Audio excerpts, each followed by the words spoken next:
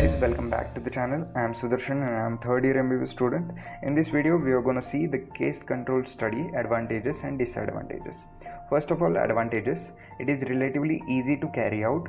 It is rapid and inexpensive.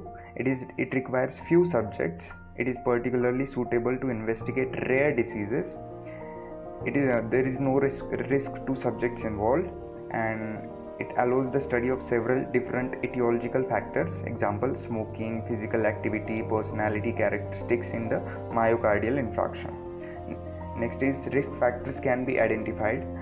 So rational prevention and control programs can be established no attrition problems because no follow up into the future is needed for individual. And ethical problems are minimal in this case okay? These are the advantages of the case control study.